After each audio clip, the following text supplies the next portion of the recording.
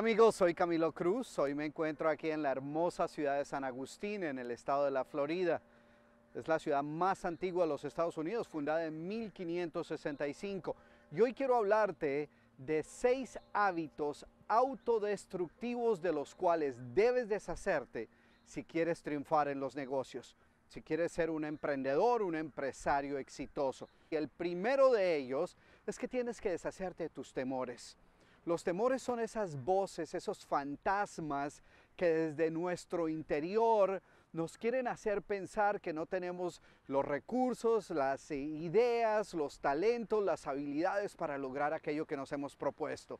Siempre están enfocándonos en los problemas, siempre nos están tratando de decir, oye, pero tú estás loco, ¿qué vas a hacer? Vas a fracasar, vas a caer. Así que si quieres triunfar en los negocios, tienes que deshacerte de los temores. El segundo hábito del cual tienes que deshacerte son las excusas. Las excusas son todas aquellas justificaciones y pretextos que utilizamos para no hacer lo que sabemos que tenemos que hacer. Las excusas son uno de los peores enemigos del emprendimiento. Así que recuerda, no temores y no excusas. El tercer hábito del cual debemos deshacernos son los remordimientos.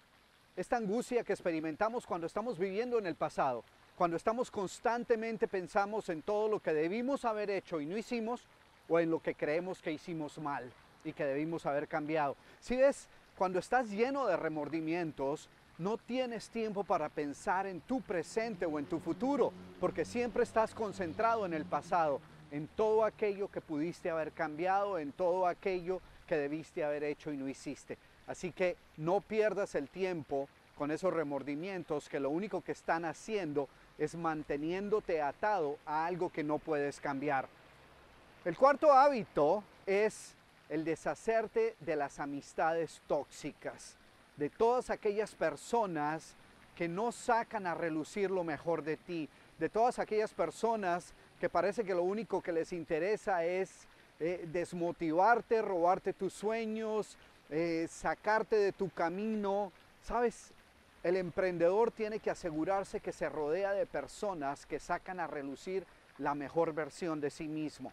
El quinto mal hábito del cual debemos deshacernos es esta absurda idea de querer caerle bien a todo el mundo, de pretender que nuestros planes, nuestros objetivos, nuestras metas cuenten con la aprobación de todas las personas que nos rodean. Eso es absurdo.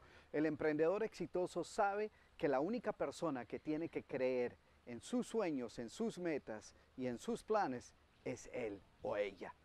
Y finalmente, el sexto hábito del cual debemos deshacernos es nuestro diálogo interno negativo. Eh, muchos de nosotros y muchos emprendedores constantemente tienen un diálogo negativo acerca de las expectativas que tienen. Ellos asumen que su diálogo negativo no es que estén siendo pesimistas, sino simplemente que están siendo realistas. Pero sabes, yo creo que eh, si hay una actitud que el emprendimiento requiere, es un optimismo exagerado. Muchos éxitos, felicidades y como siempre, nos vemos allá arriba en la cumbre del éxito. Adiós.